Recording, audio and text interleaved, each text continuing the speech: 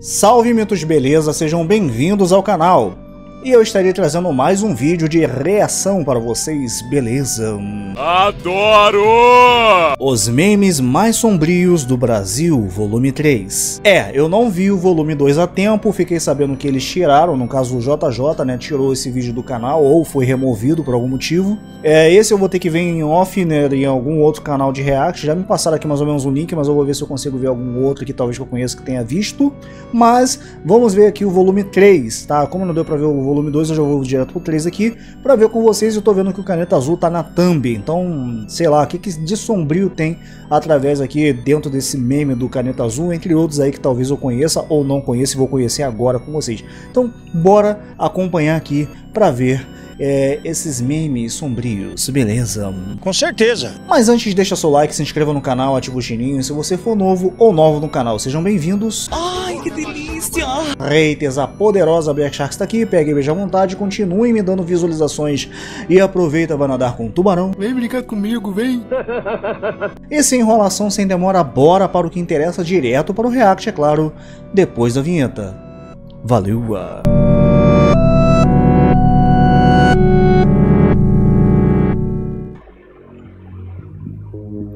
Atenção, o vídeo a seguir pode apresentar temas sensíveis que podem não agradar a todo público. Ih, rapaz. Tá, vamos lá.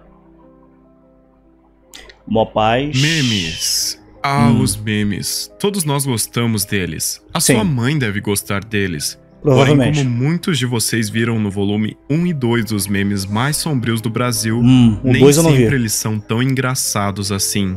Hum. Pelo menos não dentro de um contexto. Eles vão de vídeos engraçados que achamos na internet até casos perturbadores que o YouTube não gosta nem que eu mencione o que aconteceu aqui. Vixe. E com o sucesso dos dois primeiros volumes, eu resolvi trazer o volume 3. E dessa vez com as recomendações que vocês me pediram. Hum, Sem mais enrolação, vamos para o vídeo.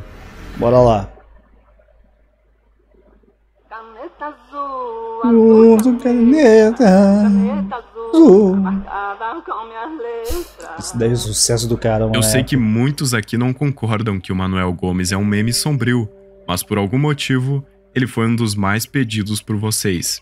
Hum, E eu até é entendo eu por conta do desconforto que os vídeos dele trazem. Isso porque ele age de uma forma estranha em seus vídeos. Como, por exemplo, o vídeo que se tornou um viral em 2022, onde Hum. um acidente acontece em uma corrida de motos. Enquanto a multidão se revela em espanto e vai checar o que aconteceu, Manuel Gomes simplesmente não reage e ainda dá um joinha para a câmera.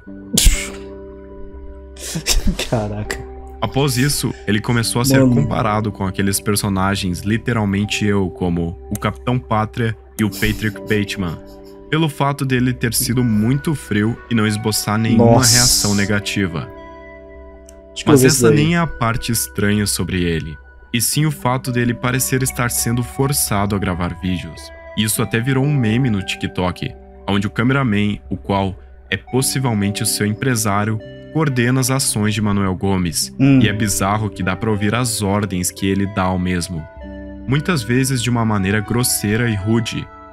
Em uma live, dá pra escutar ele dizendo tudo que o Manuel Gomes precisaria falar, e cara, isso é bizarro. Dinheiro eu tenho para comprar voto. Então, não fiz carreata porque não tinha condição, ainda tenho. Era só mesmo de pé no chão, pedindo voto, em porta em porta, cada um Ah. de vocês. Vocês. Não adesivei carro porque não tinha também, não adesivei moto porque não tinha também. Então, foi uma campanha meio difícil, apesar. E até dá pra entender, Mano, pois o de Manuel fato, Gomes parece que ele tá sendo meio que forçado, né? Não, não forçado, mas. Tipo, é, sei lá, mano.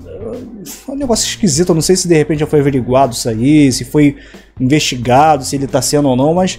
É, é esquisito, mas. Sei lá, se se trata de um, do empresário dele, ele parece um camarada que é bem simples. Tanto que a forma dele de falar é bem errada muitas das vezes, né?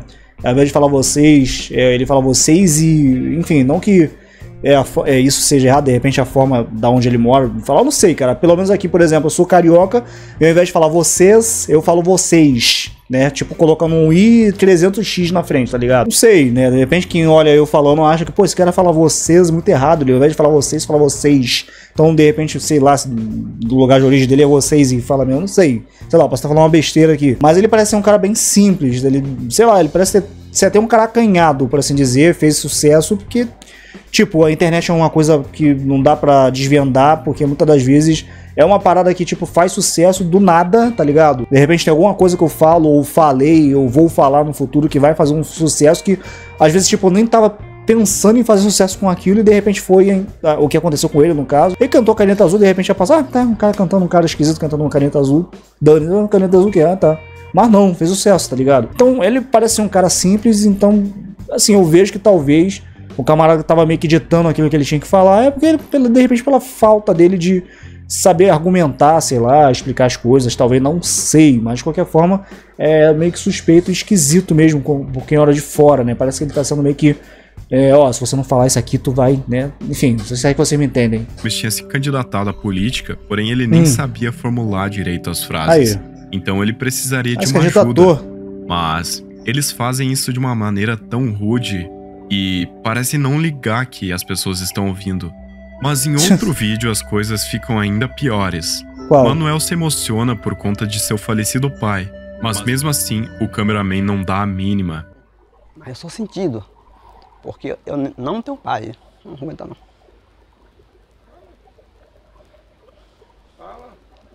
Eu estou hoje, pessoal, até mencionado porque eu perdi o meu pai.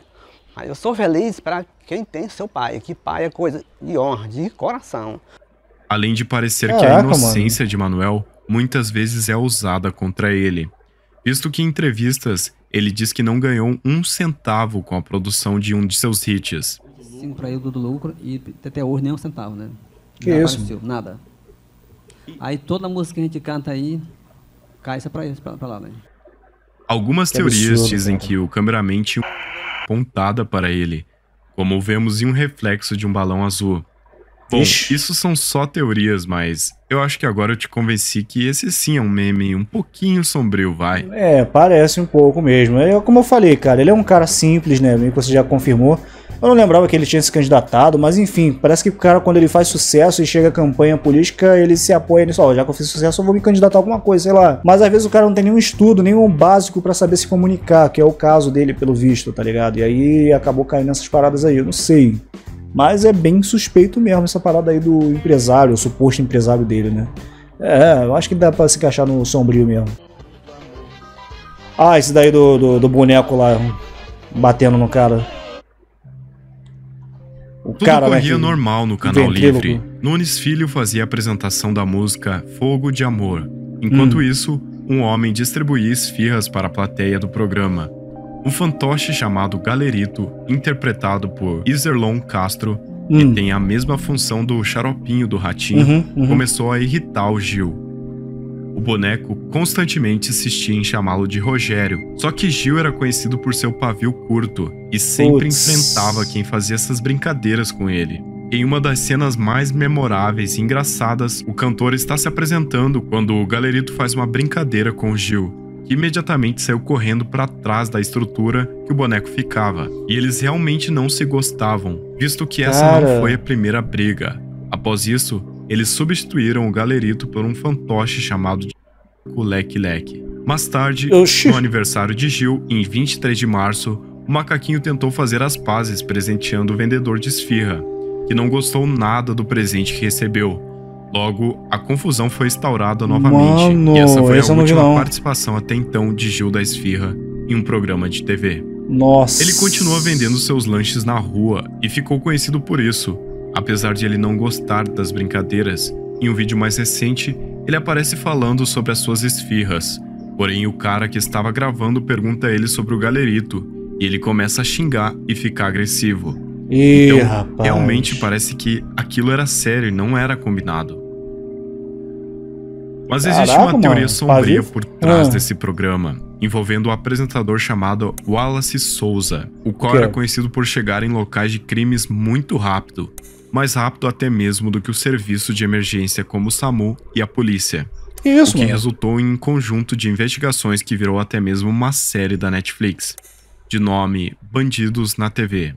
Opa, A série assistir. discorre sobre as acusações feitas contra Wallace Souza de que ele comandaria uma quadrilha no Amazonas, encomendando para aumentar a audiência do seu programa.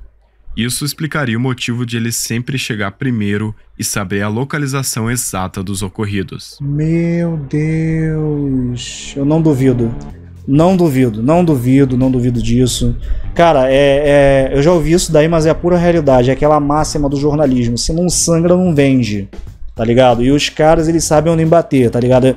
É, é engraçado porque, tipo, já tem um tempo. Eu não, eu não sou de acompanhar noticiário, não. Se eu quero saber de alguma coisa que tá acontecendo assim no mundo, geralmente eu procuro aqui na internet. Às vezes aparece pra mim, eu vou assistir aqui no YouTube mesmo tal. Mas na televisão, na televisão dificilmente eu vou assistir alguma coisa. De manhã, é claro, quando acordo, a minha esposa sai pra trabalhar aqui, mas antes de trabalhar ela gosta de colocar na Globo tal pra poder assistir as coisas que acontecem por aqui, né? Que eu agora eu tô em São Paulo tal. Aí coloca no canal de Campinas, que pega aqui tanto Campinas quanto Araras e tal. Mas eu lembro que quando eu vi o do canal 11, cara, do SBT, eu esqueci o nome do cara agora, mas, mano, o cara sensa- sensacionalista, mano. Eu acho que ele é tão sensacionalista ou mais do que aquele outro que era da Band, mano, aquele gordinho, tá ligado? Mano, a forma que eles falam, parece que eles têm prazer de falar da desgraça, tá ligado? Ah, porque apareceu uma pessoa que morreu, não sei o que, e aconteceu assim, não sei o que e tal. E aí do nada vem comercial, os caras falando com uma felicidade, como se eles não, não é, tipo, como se não tivesse falado daquela notícia ali há pouco tempo. Acabou de falar, tipo, uma criança se afou, né, morrer e tal, enfim. E aí do nada, ao invés de ficar com aquela expressão triste e tal, cabisbaixa, não, já vai uma outra notícia felizão tal. Falei, caraca, mano, parece que os caras vivem pra isso, tá ligado? De desgraça. Assim, literalmente eles vivem de desgraça, né? Porque eles noticiam as pessoas meio que são curiosas, tá ligado? É sinistro, mano. Então, assim, essa parada aí não me, não me causa estranheza, porque é audiência, ah, eu quero audiência, eu quero ser diferenciado, eu quero chegar no lugar primeiro, que, né? Porque quando uma emissora de TV consegue chegar num local ali, né, que tá acontecendo o crime ou sei lá o que, então, né? Vai ficar tipo, caraca, essa emissora aqui é boa, conseguiu chegar lá primeiro que as outras. Aí esse cara vai e faz isso aí, meu irmão. Não duvido disso aí, na moral. Ih, rapaz, João Paulo, sou merda, meu irmão. O que, que tem de, de sombrio nesse? Mano, Nesse vídeo você está vendo um Rapaz. cara chamado João Paulo. Ele Ok. aparece reclamando sobre a sua atual situação e como Ah. parecia que nunca vencia na vida. E acabou estourando e virando um meme bem grande aqui no Brasil. Hum. Com isso, a vida dele começou a melhorar graças à internet. Ele possui um canal no YouTube com mais de um milhão de inscritos, porém sua principal renda vinha do Instagram. hum, Mas esse rapaz é um imã de azar. Ele já se Nossa. acidentou várias vezes, perdeu o canal. Isso não é nem 1% do que aconteceu com ele. nossa. Porém, a pior parte chegaria alguns meses atrás, quando ele estava indo buscar seu carro que estava na oficina e Ah. resolveu fazer uma brincadeira. Ele percebeu que o trem estava vindo e ficou no meio do trilho. Ué, Obviamente, ele saiu dali quando o trem estava chegando perto. Mas para piorar a situação, ele faz um sinal com a mão para o trem parar. E o maquinista realmente para, fala algumas coisas para ele e Ué? vai embora.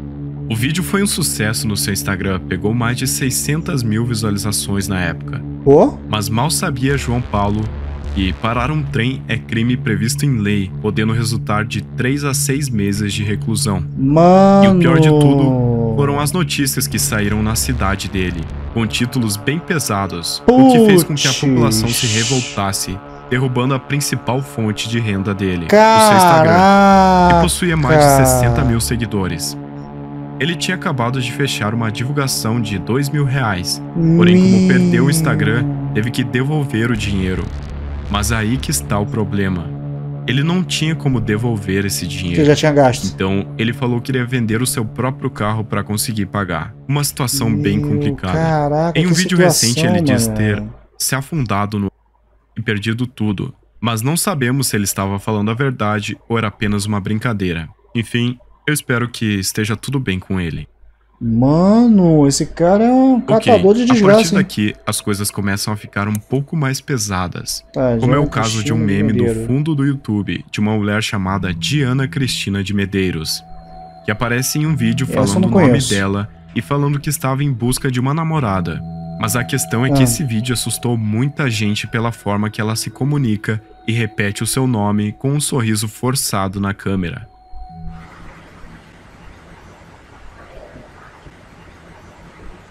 Meu nome é Diana Cristina de Medeiros. Cruzes?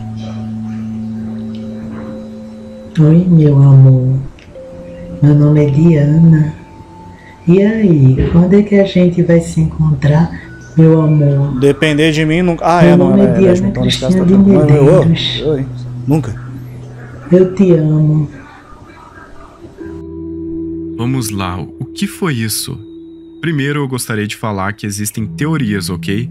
Porém, uma das versões da história que explica o motivo dela se comportar dessa maneira é por Aham. conta da doença de esquizofrenia. E ela fazia esses vídeos para praticar a socialização, pois ela tinha muita dificuldade de se comunicar com as pessoas. E a gente consegue notar isso de forma Ah. clara em vídeos dela. Então, basicamente, ela fazia o que os atores fazem treinava frases em frente à câmera para quando chegar na hora conseguir realizar a tarefa de uma forma melhor. E quem confirma essas teorias é um comentário de uma pessoa que dizia que seguia ela no Facebook nos anos de 2016 e 2017. E o motivo dela ter sumido foi porque ela virou motivo de zoação na Isso não é um internet. personagem, é Mas realmente nada assim. pode Caraca, ser mané. 100% confirmado aqui. Mas não podemos deixar de Putz. Falar que realmente a maneira que ela fala não é natural e isso causou um estranhamento entre as pessoas. Hum. É difícil não causar, né, cara? Cara, ser humano é isso, mano. Ser humano é isso. Ser humano ele não consegue lidar com coisas que são diferentes do cotidiano, do, daquilo que foge à normalidade, né? É, tipo, eu tô conversando com vocês, tô falando normal aqui, da mesma forma que eu falo com a minha esposa, com meu filho, com outras pessoas que eu conheço ou, ou que eu acabo de conhecer, é normal, né? Ninguém vai ver estranho, nada de estranho nisso. Agora, pô, o negócio é eu chegar falando coisa aleatória, tipo, rindo de uma forma meio suspeita, macabra até, sei lá. É, enfim, no caso dessa moça, infelizmente, como ela é peculiarmente. é, eu queria encontrar uma palavra melhor aqui pra falar, mas eu tô com medo de falar por causa do YouTube. Mas enfim, é, é estranha. Então, assim, né, qualquer pessoa que vê ela falando desse jeito e sendo da aparência que não chama atenção, né, pela beleza aos demais, então acaba causando essa estranheza e acaba meio que dependendo da situação virando zombaria, né? É complicado, mano. Tomara que ela esteja bem, né? Tomara que, não sei quanto, é, 2016, né, que o rapaz botou lá no comentário, hoje 2024 agora, to- tomara que ela tenha de repente, né, conseguido ficar bem de alguma forma, sei lá, enfim, mas enfim, é bem estranho mesmo. Me dê papai. Ah, esse cara aí que eu me dê papai. Hum. Esse homem, conhecido como Zé Yaya, virou um meme em todo o Brasil Ah. pelo seguinte vídeo. Fique é bolacha. Não quero não. Meu filho quer leite. Não quero nada. Meu filho quer comer. Não, não, não. Meu filho quer cachaça. Me dê, papai. Ele morava com sua mãe e a família Ai, e ai. fazia picos para conhecidos. Porém, apesar das brincadeiras, alguns internautas começaram a notar um pequeno detalhe em seus vídeos. Ele realmente precisava de ajuda. Vixe. Zé tinha um problema muito sério com Putz. e obviamente as pessoas já estavam prevendo o seu fim. E durante um tempo ele sumiu da internet, o que levou as pessoas a desconfiarem de seu paradeiro. Porém, ele aparece novamente depois de algum tempo, dizendo que estava tudo bem. Porém, Ah. ainda esse ano, recebemos a triste notícia que ele tinha falecido em frente a um bar em sua cidade. Putz, Segundo os policiais que atenderam as ocorrências, Zé Yaya teria passado mal e morreu em frente a um estabelecimento comercial da região. Caramba, cara.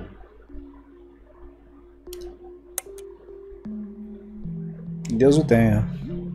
Já acabou, Jéssica, mas isso daí também é. Esse último meme eu não vou Nossa. colocar nem o vídeo, mas sim apenas imagens, pois a história é realmente muito triste. Hum, E eu creio que a pessoa que foi vítima não iria gostar muito disso. hum, Mas você provavelmente conhece o meme Já acabou, Jéssica. Uhum. Frase dita durante o fim de uma de duas garotas por conta de ciúmes de um namorado. Tudo Ah. começou quando a BBC deu uma entrevista à jovem, autora desse meme, que revelou coisas perturbadoras sobre esse caso. Quando a garota disse aquela frase, ela tinha apenas. Mas ela não imaginava o que viria pela frente. A vida dela na escola a partir desse ponto se tornou um inferno, pois o seu vídeo teve muita repercussão. Nossa. Isso acarretou em um caso muito pesado de Que fazendo isso? com que ela abandonasse a escola, resultando em depressão e tratamentos psiquiátricos, além de marcas Nossa. deixadas por esse triste acontecimento. Quando esse Meu fato ocorreu, Deus. as notícias estavam em todos os lugares, então a família da garota resolveu se afastar um pouco. Abre aspas. Ficamos uns dias na praia para sair da muvuca. Ela acreditava que quando retornasse para a cidade, dias depois, o vídeo já teria sido esquecido. Hum. Mas quando voltaram, elas perceberam que as pessoas continuavam falando sobre isso. E esse meme passava até na TV, repercutindo muito o caso. Isso foi tão pesado ela pensou até mesmo em desistir de tudo e chegar ao seu próprio fim. Imagina para uma jovem de apenas sendo zoada por uma coisa que ela não gostava. Cara. Mas hoje em dia a garota está bem melhor. Já está trabalhando e voltou a estudar, Que bom. pretendendo fazer até mesmo uma faculdade. Que bom, graças a Deus. Se você Caraca, gostou desse vídeo e mano. assistiu até aqui, eu peço por favor que deixe um like e um comentário sobre o que você acha desses casos. Uhum. A área de membros está disponível e caso você queira conversar comigo, me siga lá no Instagram que eu vou tentar responder todo mundo. Vou Beleza. tentar, hein? Aqui foi o JJ, obrigado por assistir e até a próxima. Valeu, até a próxima. JJ. Eu chamo de JJ, mas enfim. Bom, tá aí, gente, o JJ ou JJ, né? Como ele falou no final aqui. Eu geralmente chamo de JJ, que aqui é Brasil, carai. Mas, mano, falando sério, mano, essa parada aí é da, dessa menina, desse último, no caso, né? Falando um pouquinho aqui, e também daquele senhor, né? Que morreu, infelizmente, em frente ao bar, né? E sofria de álcool, né? Ah, esse, esse do senhor meio que, poxa, me fez pensar até no meu pai, cara, que ele já passou essa questão. Ainda passa hoje ainda, mas ele já foi pior do que ele é hoje num quesito de né, bebida, tá ligado? É um negócio muito triste e que eu não desejo pra ninguém, sinceramente. É triste, né? é, provavelmente ele deve ter tido mal súbito ali, nesse coroa, nesse senhor, né? Que Deus o tenha, não sei, né? Mas, enfim, né, não tenho muito do que falar em relação a ele, mas é triste. Ainda mais sabendo que provavelmente ele deveria ser um senhor sozinho, né? Parecia pelo menos ser alguém sozinho, então é muito difícil falar, não sendo não conhecendo. Agora esse caso dessa menina aí realmente, pô, é uma parada que eu ouvi até recentemente num meme aí do Facebook que eu vi esses dias, é, meio que uma redublagem, por assim dizer. E aí botaram esse, essa parte do Já Acabou Jéssica e, tipo, me fez lembrar desse meme, mas eu não sabia que tinha uma parada tão pesada por trás desse meme aí, né? Eu sei que ela, né, pô, quem, quem nunca, né? Eu mesmo já briguei em escola, já, já, já apanhei, é, já bati, mas eu apanhei mais do que bati, tá ligado? Mas é, é bullying, pô, claro, óbvio que já passei por isso. Acho que muita gente aí já passou, ainda passa, infelizmente. Espero que isso daí mude até. Mas no caso dela foi um negócio que. Um negócio virou meme, mas que não foi favorável para a imagem dela, por incrível que pareça, né? Foi um efeito reverso. Né, no caso dela, e caraca, bicho, que pesado, hein, cara. Bom, gente, esse daí foi o volume 3 pra vocês, tá? Eu espero que vocês tenham curtido aí ah, os memes, né, que eu vi aqui agora com vocês, os comentários que eu fiz, os poucos comentários que eu fiz. Não se preocupe que eu vou trazer o próximo, tá? Eu não sei se são cinco episódios ou são seis, eu não lembro agora. Eu salvei aqui todos, tá? Eu tenho aqui minha pasta aqui, pasta não, um grupo que eu criei de que eu tô sozinho aqui no WhatsApp, né? Eu coloquei todos os links dos vídeos que eu tenho que assistir e coloquei todos esses vídeos aí dos memes sombrios, né? Todos os volumes, no caso tá? E eu vou assistir o próximo aí com vocês, tá bom? Só aguardar. Quero deixar um agradecimento a todos os membros do canal por estarem me acompanhando até aqui e me ajudando, é claro. Muito obrigado pela ajuda que vocês têm me dado aí, tá? Cara, eu fico muito contente por vocês estarem me ajudando e se você quiser fazer parte do grupo de membros, né, para poder ajudar o Negão também, tá aí embaixo, você vai no Seja Membros e você vai estar me ajudando também, tá? Gente, eu vou ficando por aqui, vou deixar o link do JJ aí na descrição do vídeo, tá bom? Se quiserem mais vídeos além desse, né, deixe nos comentários aí para poder saber quais vídeos que vocês gostam que eu assistiriam com vocês, tá bom? Muito obrigado por terem ficado comigo até aqui. Deixa like, se inscreve no canal, ativa o sininho, compartilha meus vídeos com seus amigos nas suas redes sociais e segue-me lá no Instagram também, tá bom? Até a próxima e valeu!